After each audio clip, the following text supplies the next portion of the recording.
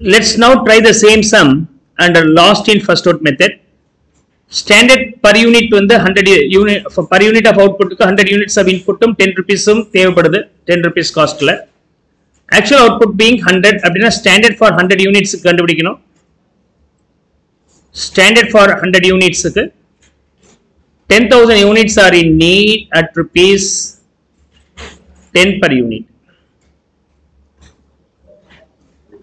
So consumption being opening stock plus but purchases minus closing stock, the consumption here being.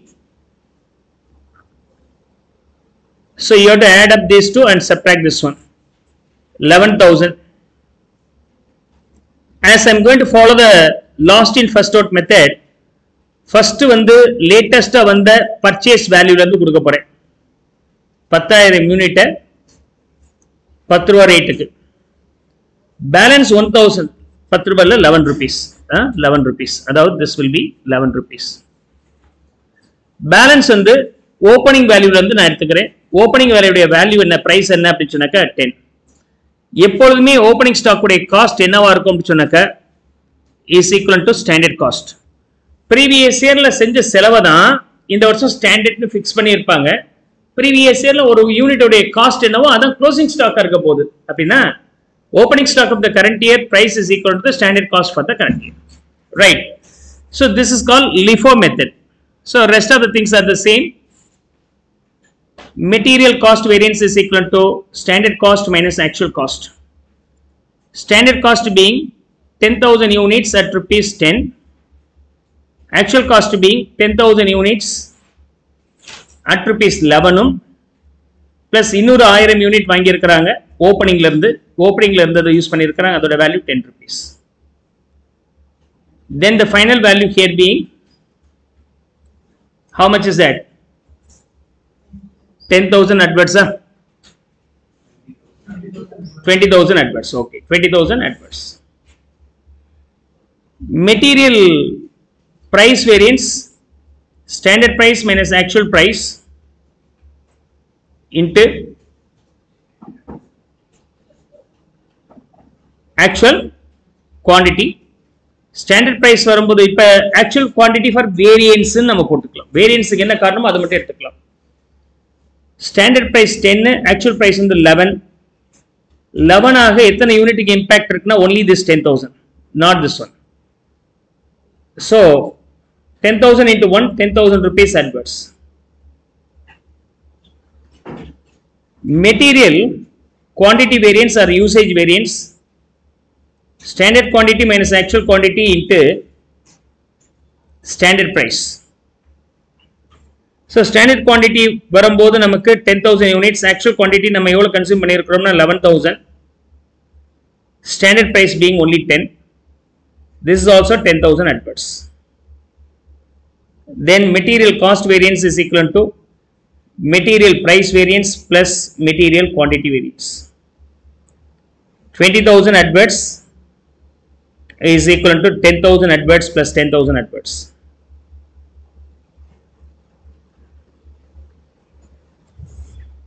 So weighted average pricing and simple average pricings are not so important for your examination.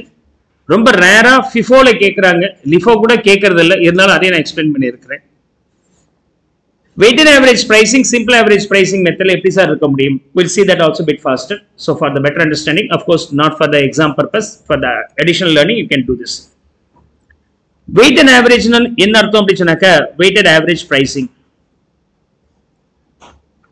opening stock ஒரு மூவாயிரம் unit இருந்துச்சு அதோட price வந்து டென்னு thirty thousand closing units purchase வந்து ten thousand units இதோடைய value eleven ருபீஸ்னா one lakh ten thousand so யோ purchase thirteen thousand units அதோடைய value one lakh forty thousand சொன்னால் per யூனிட்டோடைய வேல்யூ என்ன? This is the per unit value one lakh forty thousand divided by thirteen thousand ten point seven seven rupee ten point seven seven round off பண்ணியிருக்கிறேன் அதனால் ஃபைனலாக rounding off error நமக்கு வரும் so exam point ஆஃப்ல தேவையில்லை இருந்தாலும் understand பண்ணிடுங்க you know that the consumption of quantity being eleven thousand units அதாவது opening stock plus purchases minus closing stock okay ten thousand is added with three and minus two eleven thousand is the consumption so weighted average pricing மெத்தடில் material cost variance is equal to standard cost minus actual cost. Standard cost being this is per unit information for 100 units of output 10,000 units of input is needed at rupees 10 per unit. So 10,000 into 10 actual cost on the 11,000 units price being 10.77 10.77 then the final value here being